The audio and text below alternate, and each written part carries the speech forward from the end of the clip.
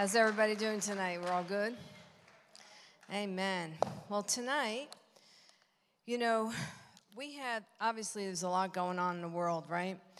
And I believe there's a whole lot of shaking that will continue to go on. And one of the things that the Lord spoke to me about is, um, you know, to speak on a spirit of fear and about um, how, how to walk that out because it's it is a spirit but then when you have a mindset that's there is you know like what are some of the practical things that we do? Because you have to really war against this and you know and i do believe we're something else is coming i don't know what but i do know that this last situation with the pandemic caused a lot of fear right? And um, so we have to prepare ourselves against that because God has not given us a spirit of fear, but of power, love, and of sound mind. Amen.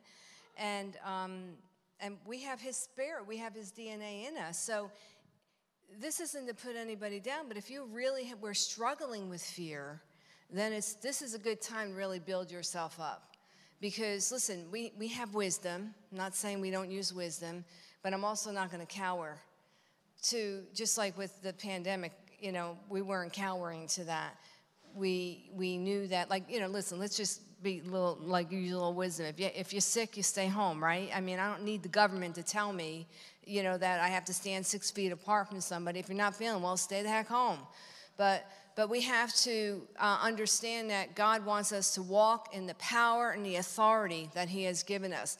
And we're going to talk a lot, I am going to talk a lot about deliverance because, you know, we are people that need to understand and know, must know how to flow and operate in deliverance. Because a lot of people are going to be manifesting left and right but if they are are we cleaned out? Do we know how to operate in this? And and it's part of the you know the gospel. Heal the sick. In matthew 10 8 it says heal the sick cleanse the leopard cast out devils and raise the dead. And that's for all of us to understand that, but to become mature in it. So, anyhow, the ministry I wrote here, the ministry of deliverance is an essential part of our lives.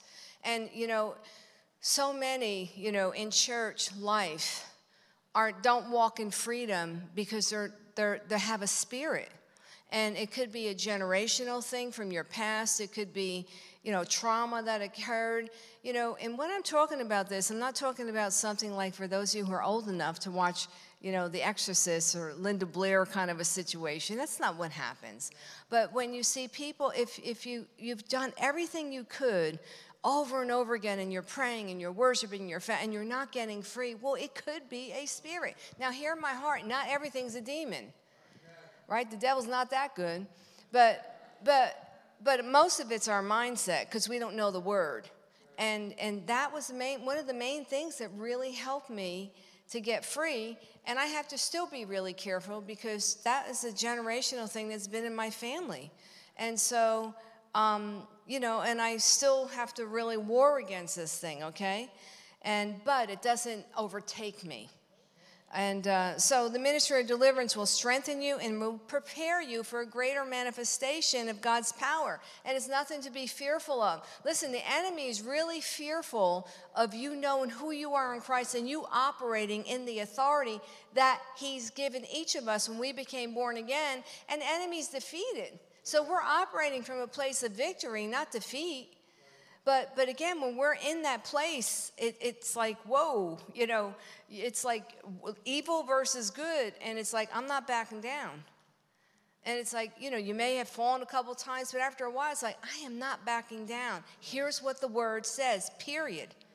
And this is the only thing I know that has gotten me through things because, you know, there's just a lot of struggle. So I'm speaking tonight from experience from my life and what and how I had to war. You have to discipline yourself too in this. And, and I'm telling you, you've got to get in the Word. You can't read it once a week because then you're going to have a once a week experience, and it's not good.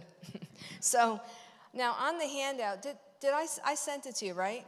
I sent it to you. Okay, you got it. Okay. So um, I have some of the definitions, and I know I've shared this many times, but it's worth repeating. When you are, I didn't write scripture next to it, but in, in the word salvation in the New Testament is soteria. There you go.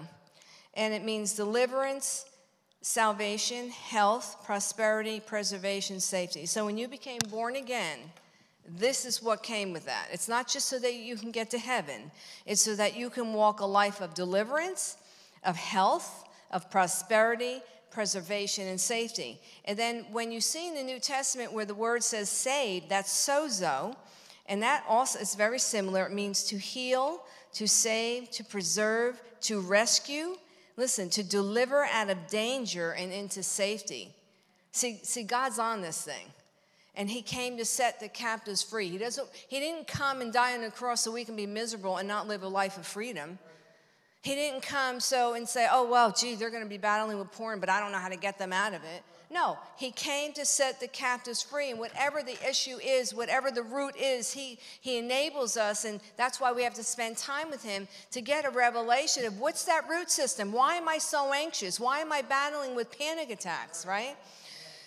Because God wants to set us free. So when you look up the word oppressed, Lord knows I don't know how to say that Greek word but it means to exercise dominion over. So the enemy, there's that war, and the enemy wants to exercise dominion over you and me, and that, like, because he'll know whether we believe the word or not.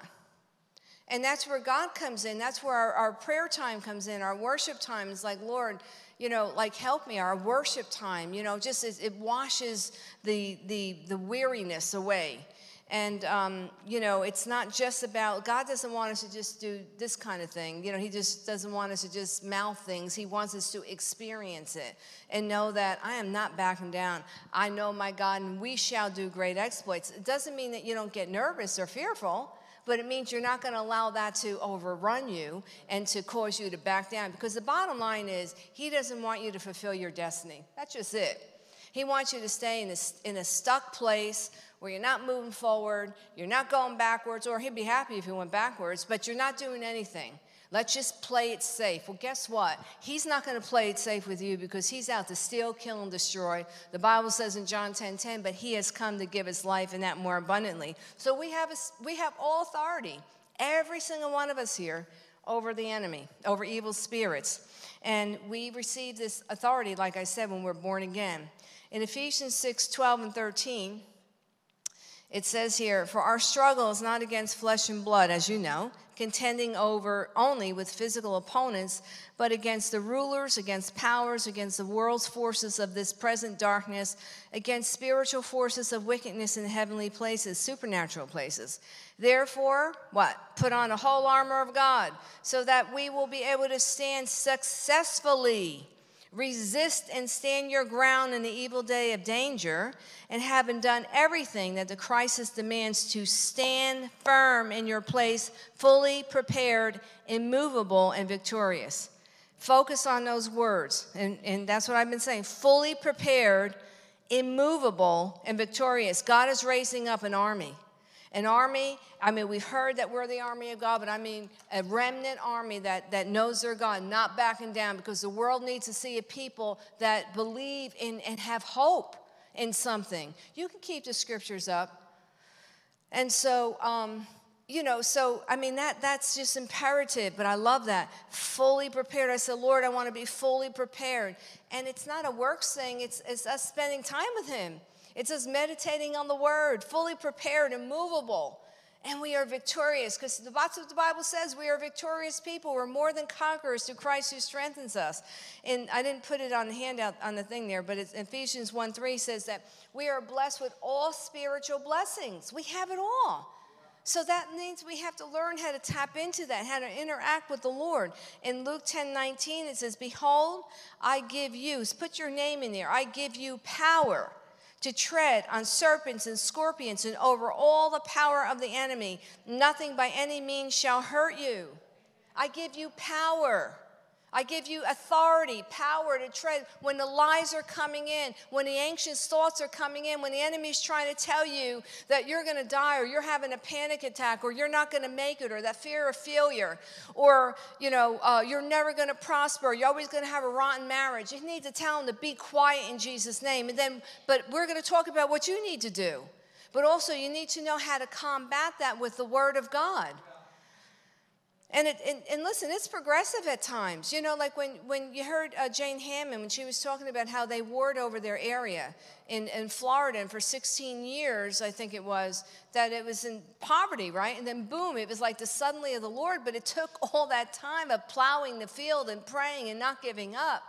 And, and so little by little, you're making your headway, you're not giving up. And because God is faithful. And, and I just, I love his word. I just love meditating in the word because it empowers you. And um, so in Ephesians 6.10, it says, Finally, my brethren, be strong in the Lord and in the power of his might. We have to be strong in him. And so our combat, our war with the enemy should be with the consciousness that we have authority over him. And I'm going to keep saying it, and he is defeated. So now, fear is the number one tool of the enemy. Anybody here ever get afraid? I mean, oh my gosh. I'll tell you, it can, it can really do a number on you, right?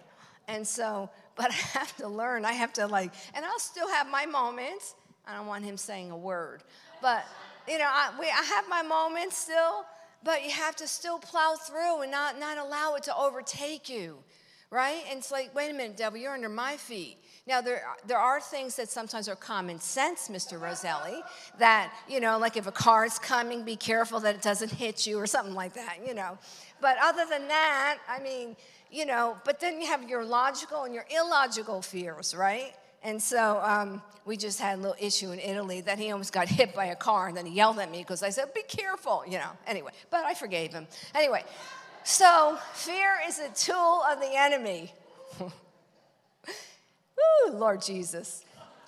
It's a tool of the enemy that we all have to know that, like, he's going to get us. And he knows the buttons to push, that he knows all of our buttons that get us going, right?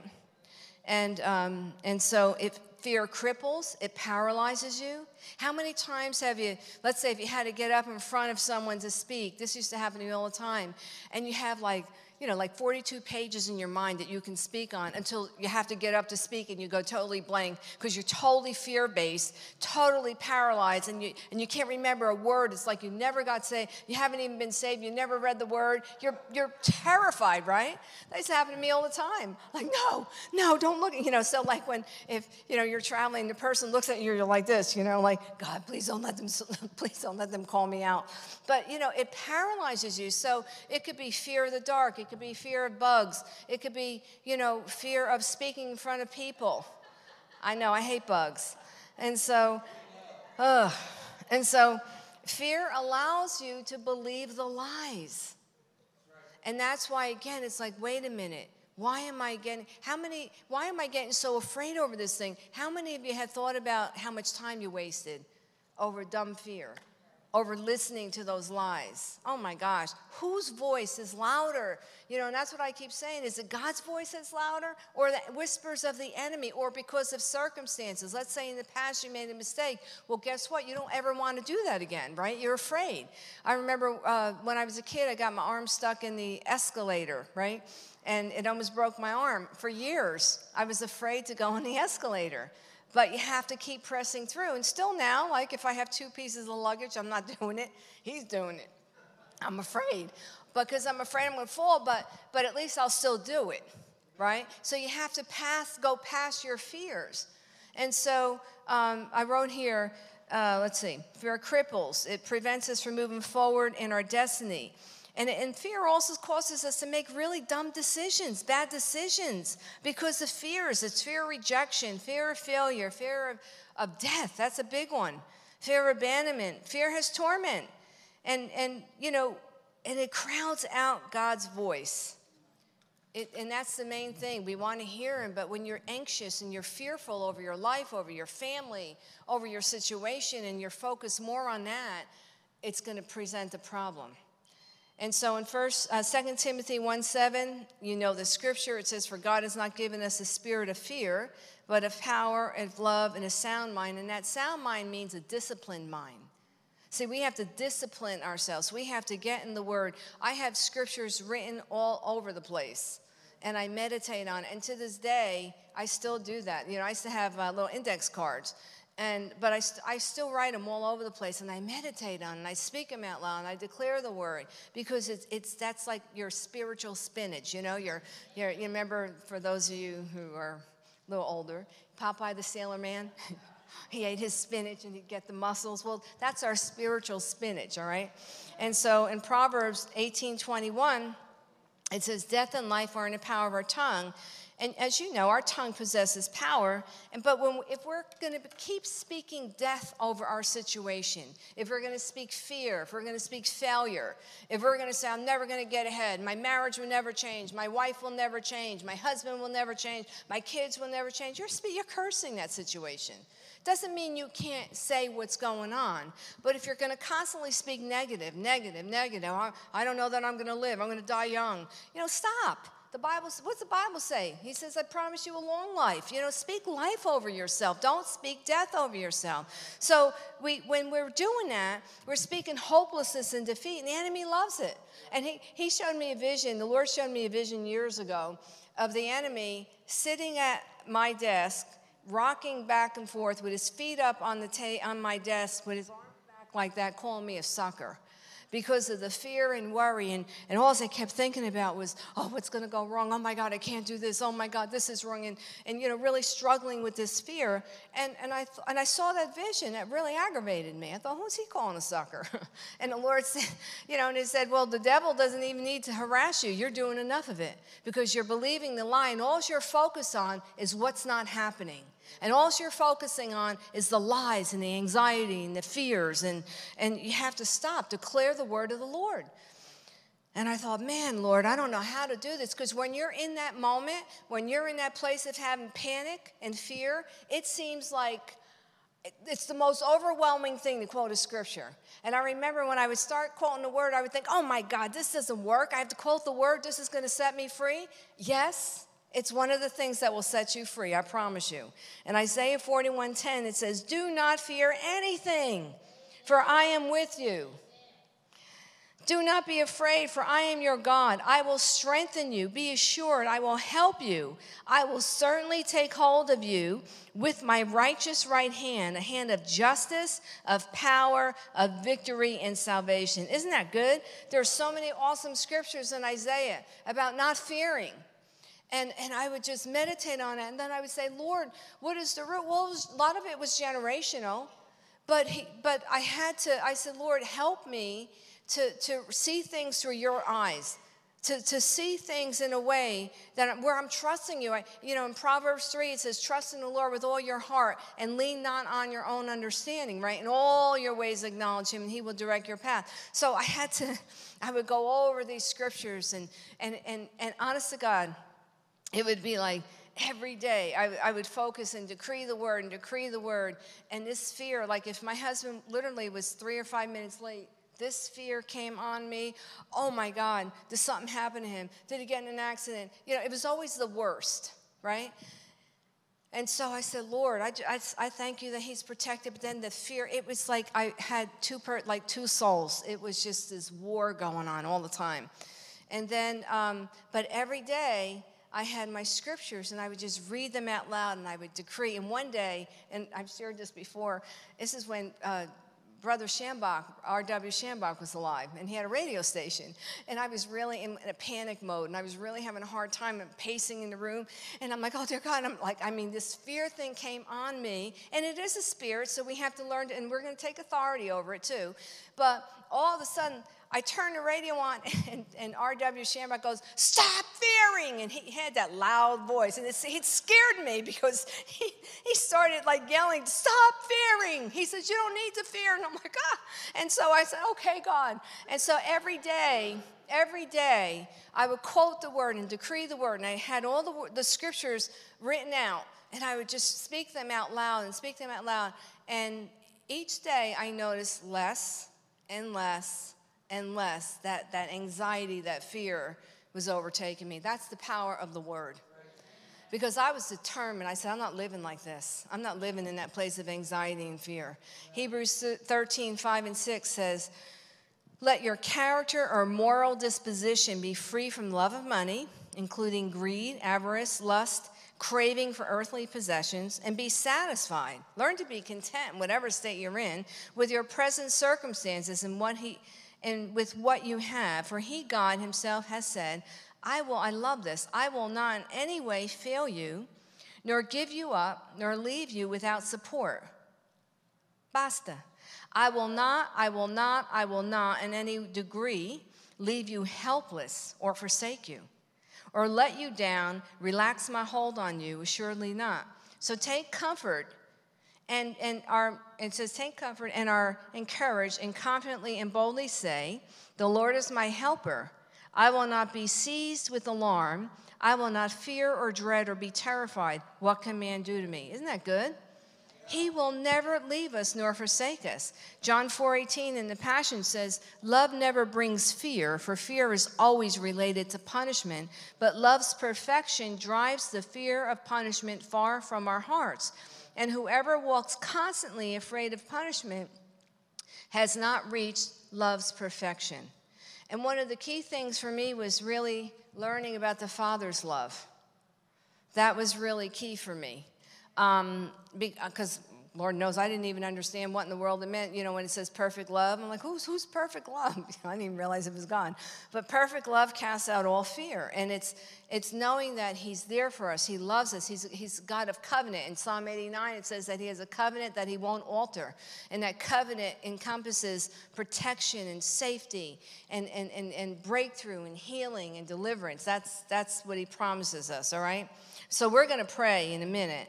But I have a bunch of scriptures um, that I want to read. It says we have to, I wrote here, we have to address root issues of fear.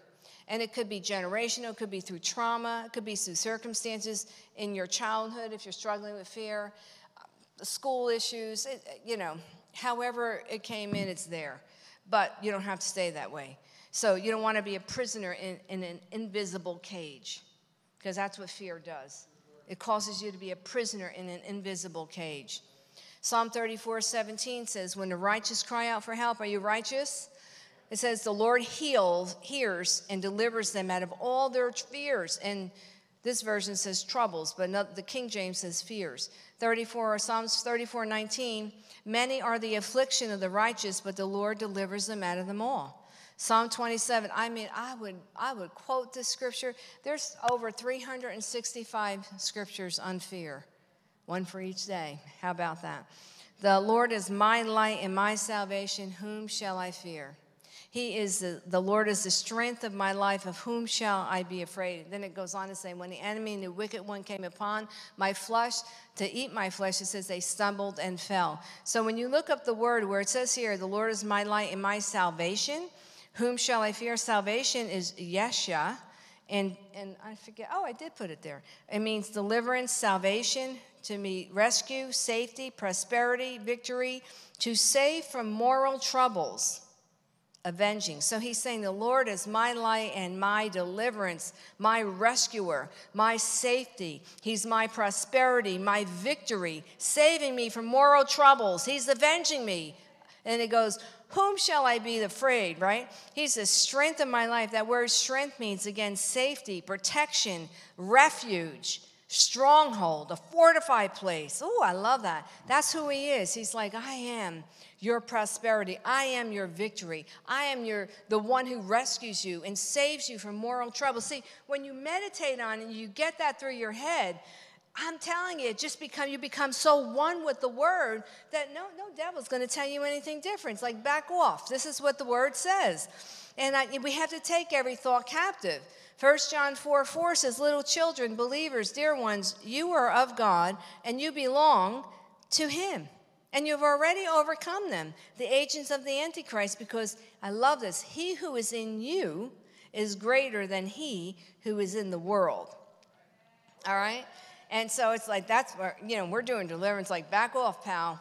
Greater is he that's in me than he that's in the world, and you're under my feet. See, the enemy just will do everything in his power to get you to be an offense, to get you to murmur and complain all the time, to get you to have your focus off the Lord, to miss worship, to not pray, to not read, because he knows that empowers us. He knows that kicks his behind in plain English. He, he recognizes that there's no, there's no, um, um, what do you call that? There's no uh, measure, not measure, what's the word? There's no comparison, no comparison, none whatsoever because of God's DNA in us. But the Bible says we need to get the mind of Christ. In Isaiah 54 17, it says here, and I know you know this no weapon that is formed against you, no weapon of what? No weapon of fear, no weapon of anxiety, no weapon of panic attacks, no weapon of disappointment, no weapon formed against you will prosper, and every tongue that rises up against you in judgment, you shall show to be in the wrong. This peace, righteousness, security, triumph over opposition is the heritage of the saints of the Lord, those in whom the ideal servant of the Lord is reproduced and this is the righteousness or the vindication which they obtain from me.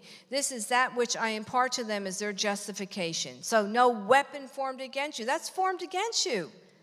So, um, we're going to pray in a minute. In Deuteronomy 36, uh, 31 6, it says, Be strong and courageous. Do not be afraid or tremble and dread before them.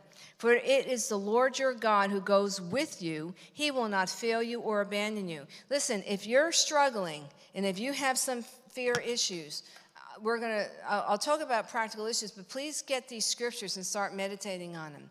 And, and we're going to renounce fear today, but it's like, you know what, Lord, I'm not bowing to that. I'm not going to allow the world to dictate how I'm to respond to something when the Word of God teaches us how we're to respond. Amen? So, some of the practical ways, right? Well, first of all, before I even say that, don't, I wrote here, don't believe the devil's lies about that he speaks to you about yourself or according to your you know whatever your family you know where it gets you anxious worried you're feeling rejected you're never going to prosper you're never going to get ahead you know and i and whatever that lie is think about it right now are you in agreement with those lies? And so what are some practical ways? I mean this isn't brain you know uh, surgery um, um, set your thoughts on godly matters instead of on your problems right? If you're going to keep focusing on your problem, you're going to be afraid. And it's like, it, it's, it's, you have to, it's not that you don't ever think about it, but I'm not going to dwell on the issue, right? So Colossians 3 2 says, Set your mind on things above, not on things on the earth. So we have to refuse to dwell in negative report. You know, how many times have you heard something and you're panicking because you get word or it's like about a health issue or a family issue or whatever? Job situation. And it's like, the Lord says to me, Why do you go that route right away? He said, How about if it's good? I remember, like, if I was called into the office, I always thought, Oh no, I'm in trouble. Because I always did get in trouble. But, but, you know, but see, it's, it's something, it's a circumstance from your past, right? And so it's like, No, Lord, I, I have the favor of God on me. It's not that always something's going to go wrong. So we have to really be intentional about uh, shifting our mindsets, and you have to work at it. It's not just saying one little prayer. You have to work at it and be diligent. Give your worries to the Lord. 1 Peter 5 6, cast all your cares upon the Lord, for he cares for you. Meditate on the word. I always picture his alt like an altar, and I lay it down. Today in uh, Bible study, I had a word, and it was from um, 1 Kings 19, 2 Kings 19, when Hezekiah was told he was going to die, and, and he was crying out to the Lord. And he actually had his notepaper or whatever, like whatever your prayer request is, you know, put him out all before the Lord. And he knelt there and he cried out to God and he got, you know, an extra 15 years. But I saw that. It was such a vivid picture. Whatever your fears are, whatever you're battling, whatever your disappointments are, or your, your, where you feel defeated or you don't feel like you're getting breakthrough, place, put it out there before the Lord. Picture an altar and lay it on the altar and say, Lord, I'm crying out to you. You know, in Jeremiah 33 3, call, you know, it says, Cry, Call out unto me. Now we show you hidden and fe- fenced in things that you know not of. Allow the Holy Spirit to give you that wisdom in that direction. Right? And so it's it's powerful. And so praying tongues. You know, David encouraged himself in the Lord. Praying in tongues is really important that we do that. And if you're not filled, we'll pray with you to get filled. But it's really important to pray in the Spirit.